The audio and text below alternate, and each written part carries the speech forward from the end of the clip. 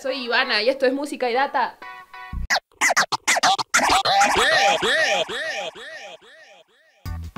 Paulo Londra va a presentar su disco en un evento gratuito.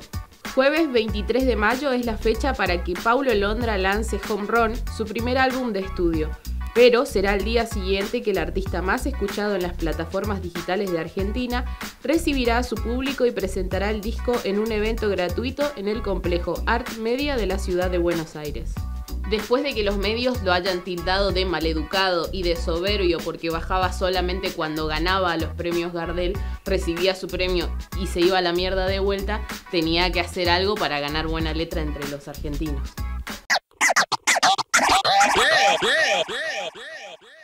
Dua Lipa, Lady Gaga y Rihanna se manifestaron a favor del aborto legal tras el escándalo en Alabama. Luego de que el Estado norteamericano de Alabama apruebe esta semana la ley de aborto más polémica de Estados Unidos, con la que se prohíbe la interrupción voluntaria del embarazo en cualquier situación y se penaliza a los médicos que lo practiquen hasta con 99 años de prisión, diversos artistas de todo el mundo alzaron su voz en reclamo de los derechos de personas gestantes.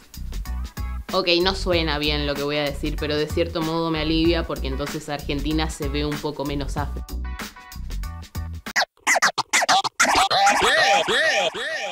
Madonna desató polémica en el Festival Eurovisión 2019.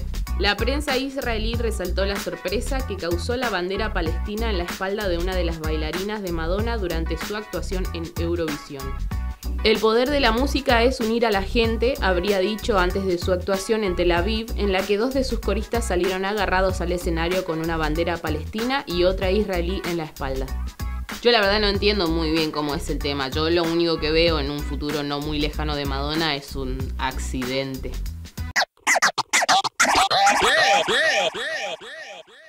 Este es el dato curioso de la semana. Daddy Yankee rompe el récord de mayor tiempo en el número uno de Billboard Argentina Hot 100. Con calma remix fit Katy Perry. Katy Perry. Otra vez Katy Perry.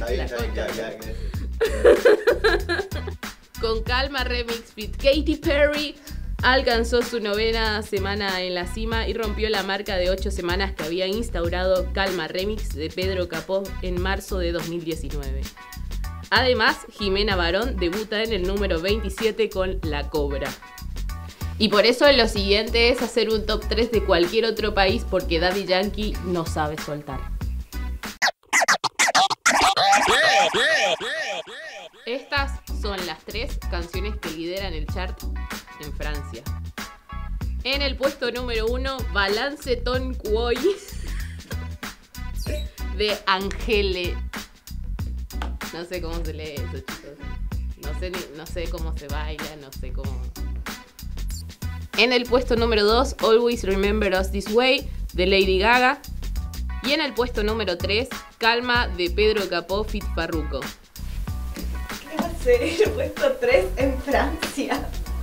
¿Ustedes se imaginan realmente un francés bailando esto? Vamos por la playa.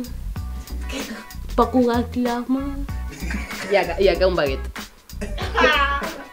Eso fue todo por esta semana. Nos volvemos a encontrar la semana que viene con mucho más de música y data. No se olviden de seguirnos en nuestras redes sociales y de apoyar el contenido local.